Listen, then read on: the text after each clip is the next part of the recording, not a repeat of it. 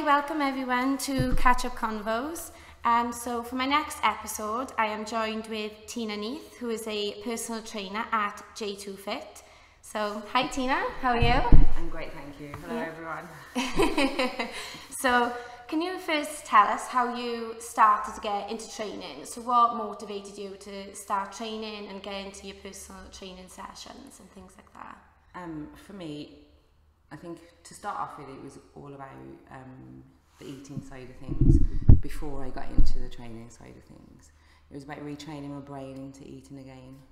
So for me, that was my starting starting point, and then it just it just escalated from there. It was just I found the love then for lifting weights, and it just progressed. The more I did, the more I wanted to know. So just like feeding your brain, if that makes sense, with Yeah. information. So, do you fo- is it just weights or do you focus on car- cardio as well? all everything. It's not just um, fit. It's, it's general fitness. Um, I'm I'm a firm believer that you've got to have a good balance of everything. Um, I did used to just focus on weights, and I soon found out that you may have looked good, but you wasn't necessarily very fit. yeah, go on a running machine half an hour and you're knackered. yeah. So for me, that kind of now I have a good balance of everything. It's it's you've got to have the three elements, you know, fitness, weight, and flexibility. You've got to have good balance of the three. That's good. So I was in J2 Fit, you do a number of classes mm -hmm. now, and you have loads of people following you and enjoying it. And you also do the transformation sessions. Um, so what, what do they all entail? Is it like, lo- I understand there's loads of groups of women all doing it. So do you give them like a training plan, like diet and fitness regime, and they got to stick to it? Or is it kind of tailored how their lives fit and stuff like that? So, along my journey of doing this, I've learned that um, unless you understand, you can't learn something. And it's like for women, especially, it's like the more that you understand what you're doing, the more you're able to absorb it and take it in. So, it's for me, it's yeah, you have. I give you the tools to be able to change your lifestyle. Um, I'm not a firm believer in dieting for an excessive amount of time. I think if most people just give their lifestyles a good shake up, it's all about balance, isn't it? You know, it's, it's you can't hard diet forever. It's not sustainable. Um, but obviously, everyone needs to pull it back every now and then because they want to get into that dress or whatever. But Yeah. yeah, it's all about balance. I find lifestyle changes work far better than hard dieting. Yeah, it's good. Because like at the moment, obviously, I'm doing sessions within myself. Mm-hmm. Like before I come here, I all I used to do was cardio. I was like cardio queen. I used to go in the gym for like two hours, four times a week, train, train, train. Yeah, I lose weight, but mm-hmm. then muscle wise, there's like not much in my legs to be toned and arms. But then when it comes to like stomach and hips and things like that, it's mm. just you just got to do weights. I never know. It's just that I, is that when all that comes in? Like So it's, it's about body reshaping, isn't it? Cardio is great, you know, it's great for your fit mass, it's great for, for building up your lung capacity, it's great for stripping back your fat layer, but it's not necessarily going to put curves on your body where you want them. You, for that, you need to build muscle, you need to lift weights, eat right, eat to fuel for that, if that makes sense. I find that most people who focus on cardio don't really eat that much to promote muscle growth anyway, so it's kind of two negatives in, in that situation. If somebody comes to me and, and they're like, oh, I can't gain any muscle, I can't gain a bum then, and they're doing flat out cardio all week, the first thing I'm going to tell them to do is to pull back on their cardio. Yeah, because you're just kind of like running off your gains, if that makes sense. yeah, you're not gaining any, really what you want to achieve. Like, Yeah. everyone's different as well. Everyone's bodies are different. Everyone, everything and that. So see, with the classes and stuff like that you do as well. Do you have like a favorite class, like for weights? Do you feel like one like proper gets everyone pumped up? Do you know, like I. I think um, I, I love all the classes. Oh, I, I, know, I know it's, I know it's, um, but yeah, I, I love all of the classes. They all literally do exactly what I want them to do. So it's like individual, like um, on a Wednesday morning we've got body tone, which is a weights class, and it Yeah. is exactly what it is. It's a weights class, and we go and we smash out the weights and we leave. But then on a Tuesday we've got abs and arse, which is just literally all about you know, getting getting a pump on and on your bum and working the abs, and it's it's tailored for you to do exactly what you want it to do. yeah. If that makes sense. Yeah, that's good that is. Because obviously, yeah, some girls, like for example, if they if they've got no problems with their legs, for example, like that, they're going to be more focused on like the ab, like say abs and yeah. arse and Yeah. obviously. Like, yeah, that's good. Um, so when you do the transformation programs, um, how long do they last? About. Um, the transformation programs last for 12 weeks. Um, I do do other challenges and stuff like smaller challenges, but I, I love the transformation challenges. It's like having a room full of caterpillars and watching them turn into butterflies. It's absolutely amazing. I love not just the fact that um, it affects the girls in the class, but it affects their families, the way they, they're so much more active, their kids mi- mimic what they're doing. It's like, I love it. I absolutely love that. So I know it's not just what we do here and now. It's what you do while you're not with me as well. That kind of that's what what counts. Everyone can be good in a class, but it's what you do outside of a class. Yeah, that's you know- what that's what counts. Do you know, it's so funny you said because right now when I'm doing the training sessions how the weight, weights run, my um, oldest daughter, she's so funny. If She's like, "Go on, mammy, go on, mammy." From my last round, Yeah. she's like, "Go on," she see me struggling. There's nothing, and, and to be honest, there's nothing more rewarding than that. It's like for me, um, it's, there's no two bigger differences in my own children. It's like my oldest one, she was pre-fitness, and then my youngest one, she's very much been born into fitness, and she understands how her body works, all about her macronutrients, blah blah blah. Whereas my oldest, she doesn't really know that much until she learns now, if that makes sense. It's not Yeah. normality to her. Whereas when you go home now and your daughter sees you doing stuff like this, that's normal to her. So she mimics that, and then as she grows up, she understands that she's got to look after herself. Yeah, I do tell her that. She asks me, she's like, Mammy, why do you do this? Why do you do that? And I say, because when you're older, I say you've got to, I say like you go to school and like she does swimming and hmm. stuff like that. I say for us when we get older, we've got to put it into our days. It's like obviously we got to work. Yeah, I say we've got to push our bodies Yeah. so to get good, what the bodies that's that it, we want. definitely. So yeah, she's so funny though when I do that. With the transmission programs, I know do people come back? So obviously you have 12 weeks. I guess some people, obviously depending on what people are aiming for, hmm. some people will go away and they'll obviously just keep doing what they're doing. They might come back for classes, hmm. but not the transformation programs hmm. themselves. Did you have people coming back? I bet it's nice for it to be in a group as, in, as well, isn't it? I think, um, yeah, definitely the girls. We I have girls that started off in transformation three years ago, and they still stay in transformation now. And it's it's literally it becomes lifestyle if, if that makes sense. Um, yeah, girls go off, they come back. It's it's entirely up to them. You know, the door's always open for anyone to to join in and take part. But there are different stages of transformation as well. Obviously, there's two levels. I wouldn't say levels. There's two different groups for two different reasons for what you for what the individual body needs. Yeah. So throughout your throughout your journey, you know, you're never going to stay the same. So it's like I have some girls that start off in the fitness and fat loss group that will then come back and co- go into the toning and, and muscle building group. So Yeah. it's, it's literally, and then vice versa. Some girls then will come off and they just want to strip back a little bit. So we'll go back into the fitness and fat, fat loss group. It's great for that reason. Um, but yeah, it's the group, it's, it's the, I think the support that you, um, that you create with each other within a group setting, bringing everyone together and making them realise that we're all in the same boat together. We all want to get to the same kind of destinations, and if we all just work together, you will get there a lot quicker. Yeah, definitely.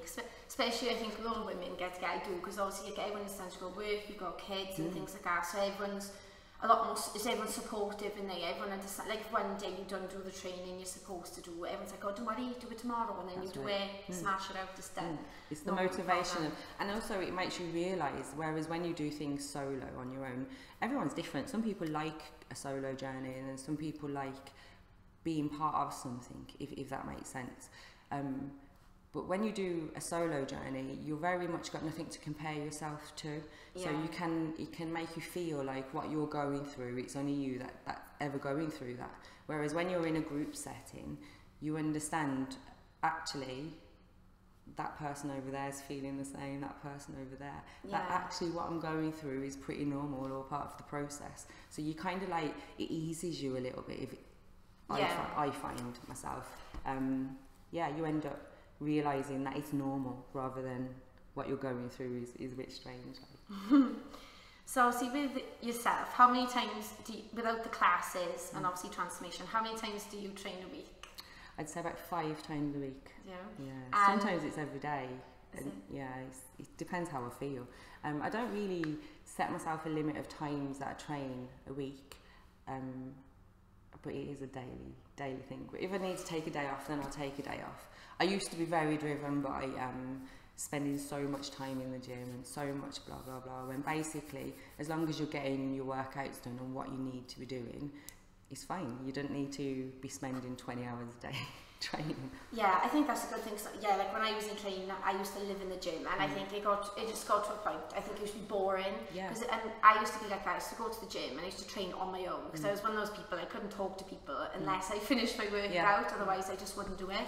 So yeah, I used to find that quite frustrate, frustrating. But now, obviously, doing training, I'm doing in the house or I'm doing it with the kids and things like that. So it's a bit it's it's easier to do as well. Mm. I find rather than being stuck in, in a gym on your own. It's boring, isn't it? I think When- all, when I all fir- the time. When, Anyway. when I first started, um, when I first launched my business, I launched it doing home sessions, and I did I did that for the reason of being that there was so many women out there that just hated the gym. Um, but now I do it so that your workouts can be done anywhere, whether you're in a gym environment, home environment, yeah. whether you're outside or on holiday, wherever, your workouts can be done anywhere. And I think it's not your actual environment of where you're training, it's the actual training that matters. It doesn't make a difference, you know, like if you're doing it in your shed or if you're doing it in a high tech gym, as long as you're getting your workouts done. Yeah, exactly. Obviously, like I said, about your train, because obviously you're in good shape, obviously. So do you have any tips, like basic tips for dieting? So if there's people wondering if they could change any simple things with their diets, do you have anything you'd recommend? Um, basically, I think the biggest problem for women, especially, is not eating enough food. Yeah. Definitely, I'd say most females undereat rather than overeat, and people think that less food equals less weight, and they couldn't be so far wrong. You just got to eat small amounts of food regular and often, keep your metabolism sped up, sped and running running efficiently, rather than shutting it down by Yeah. starving yourself. So yeah, that for me is probably one of the biggest. Um, if I could put that out there, is, is literally just say to people, food isn't your enemy.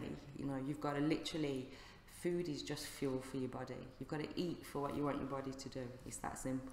Do you know, what, that's, that is obviously true because now, like when I'm training, I can't stop eating, and the more I train, the more I want to eat. It's just like it's impossible. It's because as well now you're um your weight training and having muscles burns more calories. So you're gonna need more calories to satisfy your body. If that makes, you're gonna be more hungry. It's, it's normal. That's that's perfect. I love hearing exactly. Yeah, it's, uh, all I do is eat. I think my food bit is gonna horrendous. I know. I know. But I don't mind I'm eating, so I'm happy I am. Um, so see, when you started training, is there any like celebrities which you followed? Do you like some celebrities think, oh, I like that training, I'm gonna try that. Or try their food or diets, like, for example, not like listening to celebrity, obviously, like Slimming World meals, or like celebrities, like I like Joe Wicks, for Mm. example, his meals. Is there any celebrity meals you like follow or take any of I those don't. recipes? No? No, I don't. Um, for me, it's just Are you a good cook then?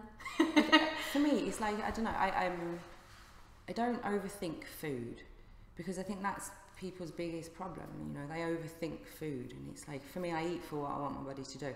I, I'm probably not as normal as most people when, when it comes to um, food, if that makes sense, because I just eat it for what I want my body to do. If I'm going to train hard today, I know I've got to feel, feel my body for that. No, I don't really follow any particular diets. Mm. No, I just know that it's basically carbs, proteins, and fats. I know it's sort of, but yeah, that that is basically how I live my life. I know it sounds boring, but yeah. It's not boring. It's not boring at all.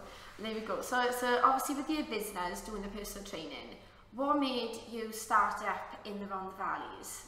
Is there any, like, did you anything motivate you think, right, I'm going to start it up here in the Rhondda Valleys, J2 Fit, do you think it was missing? Do you think that's something that they didn't have offered around you at the time?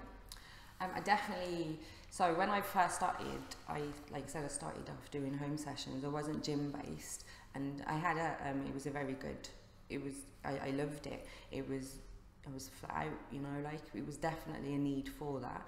Um, but as I've evolved my own business, it was I wanted to not only just show people um, how to train, but not make I wanted to show people not to be scared of coming into a gym environment. So um, then when I came to J2 Fit, it was perfect because it gave me the opportunity to do that.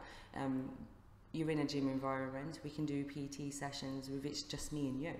Um, you can come into a class and it's just full of girls that are going to encourage you or you can join a transformation where it's just going to change your lifestyle so it literally offers everybody everything that, that, that I need them to do. It overcomes, with um, what I do, it's not just about training. I deal with so much more than just getting somebody to work out. Sometimes it's just getting somebody to get up and come to the gym, actually get out of the car and step foot into the gym. People can be so scared of doing that, and then it's sometimes it's things like that that you have to overcome. Everybody's different. Everyone's got their own little things that hold them back, and just by having different ways of being able to show people that they can still do it means that it, it fits everybody's lifestyle. No matter what your issue is, we can get around it if that if that makes sense.